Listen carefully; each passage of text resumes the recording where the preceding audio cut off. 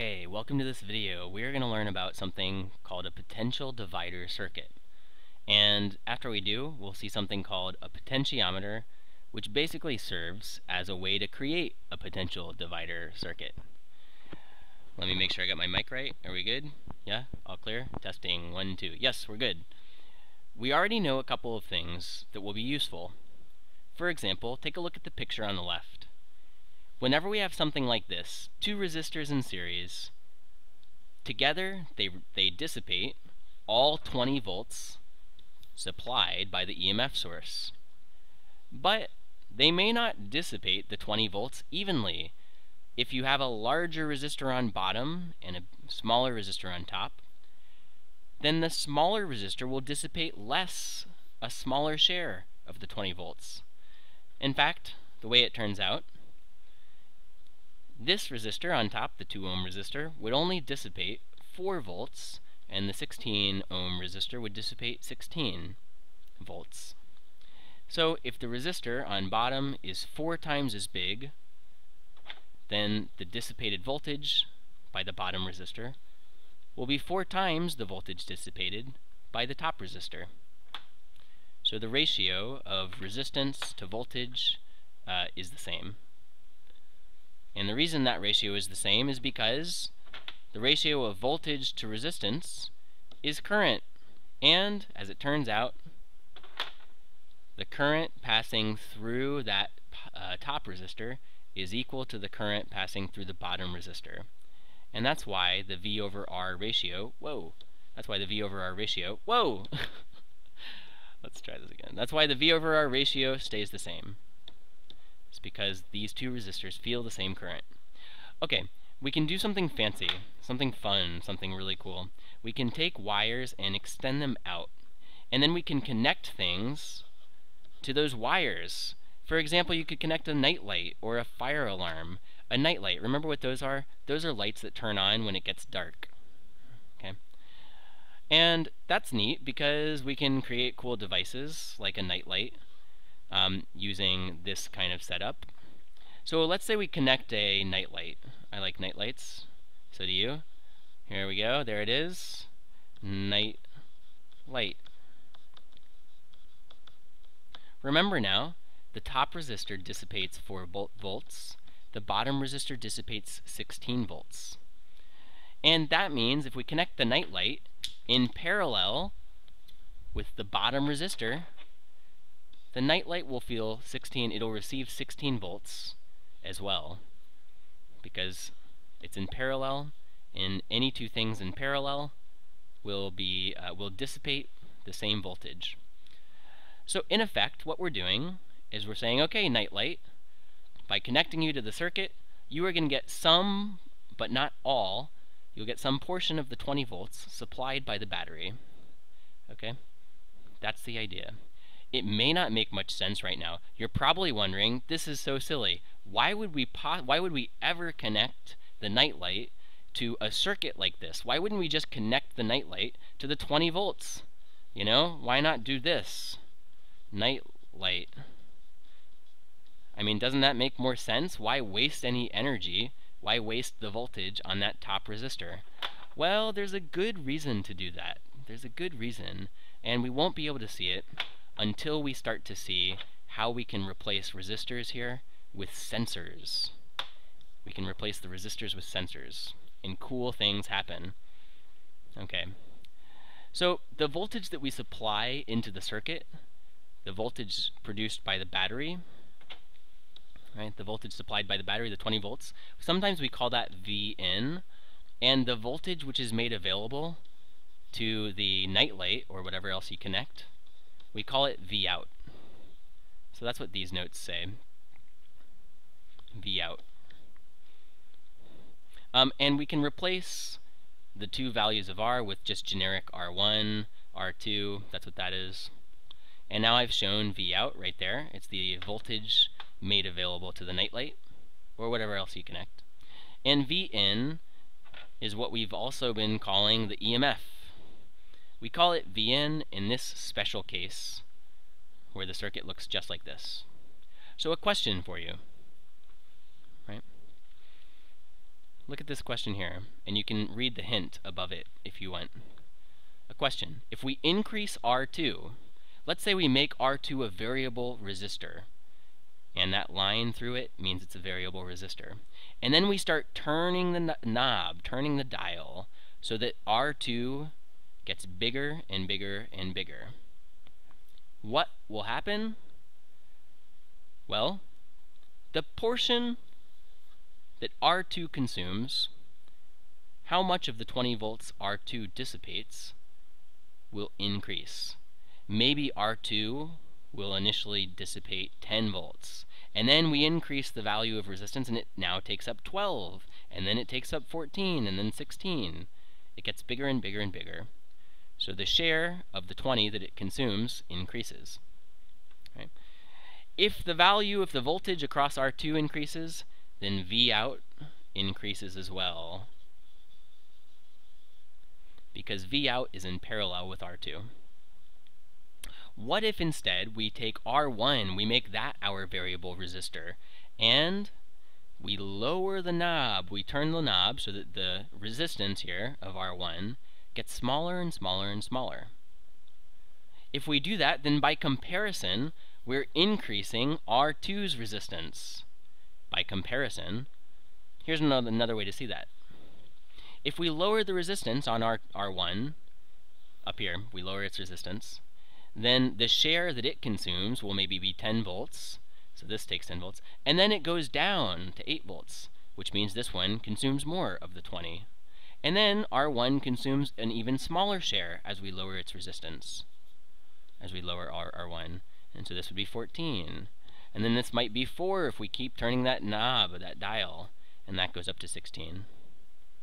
So if R1, if R1 is lowered in resistance, then this voltage across R2, hence also V out, increases.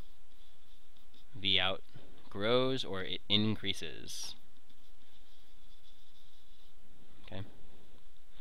Now it's possible mathematically to prove that the value of output voltage is equal to R2 over the total resistance which is just R1 plus R2, assuming there's nothing connected, if there's no circuit connected, times the EMF. This is something we can prove. If you want to see it proved, uh, come, come see me, or maybe I'll make a video. But we're not going to worry about the proof right now. This equation, this equation says the exact same thing as this bullet right here. This is the qualitative description, which communicates the same info as this mathematical description. That circuit right there, boom, the one we've been looking at for so long. Oh my gosh, how long is it? 18, 8 minutes already. We're 8 minutes in.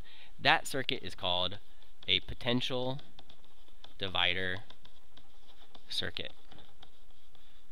Not a circus, a circuit. And a potential divider circuit is so important it deserves at least 8 minutes of your attention. More! Which is why the video is not yet over. Alright.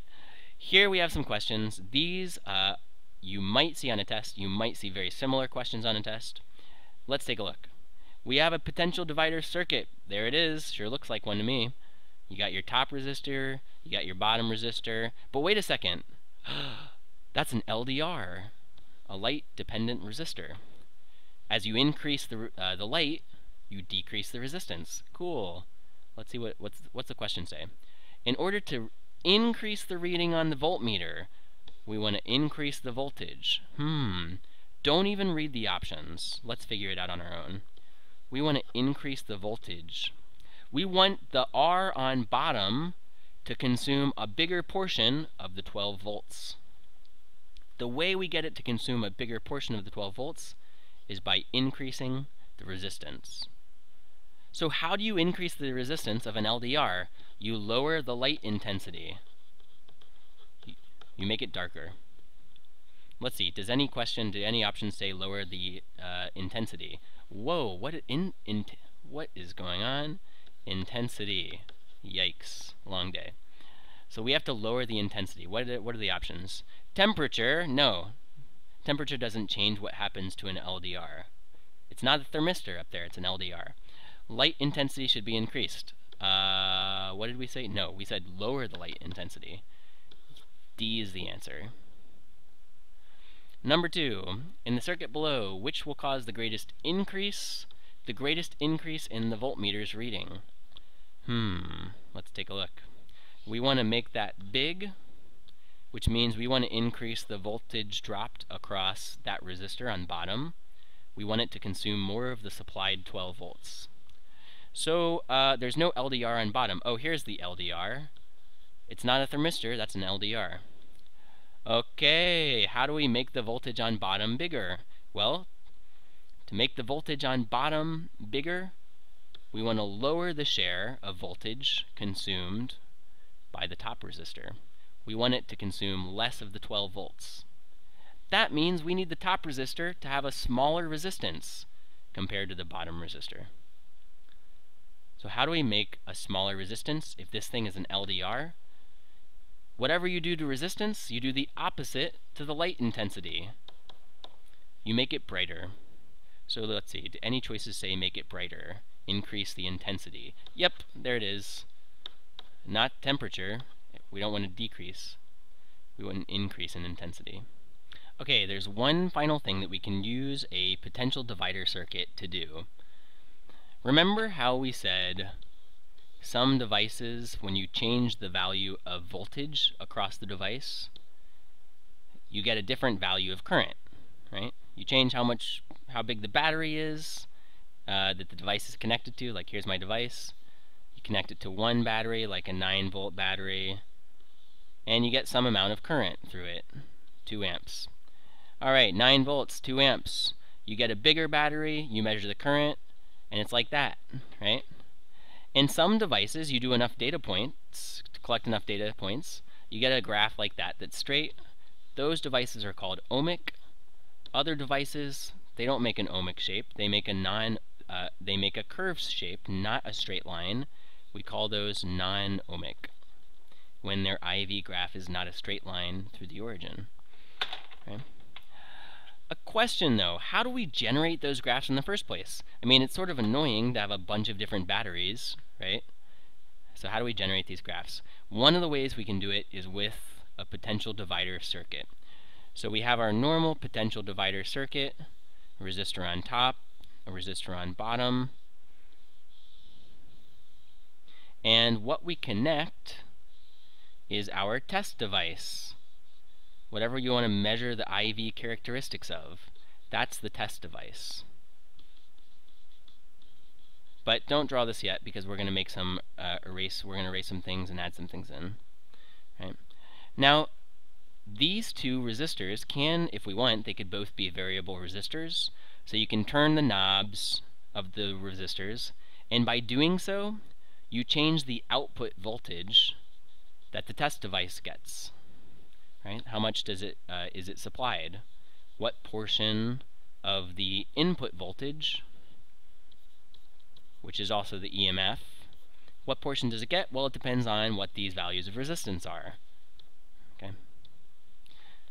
But we need a way to measure the voltage, so we connect a voltmeter so that we can collect our data and generate the graph.